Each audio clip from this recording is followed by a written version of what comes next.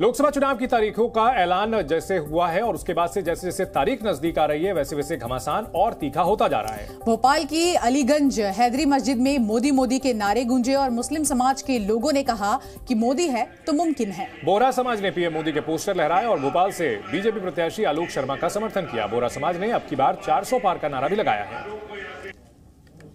जनाब जौहर अली ने प्रधानमंत्री नरेंद्र मोदी की दिल खोलकर तारीफ़ भी की है। अब की बात। अब की बात। अब की बात। अब की बात। अब की बात। अब की बात।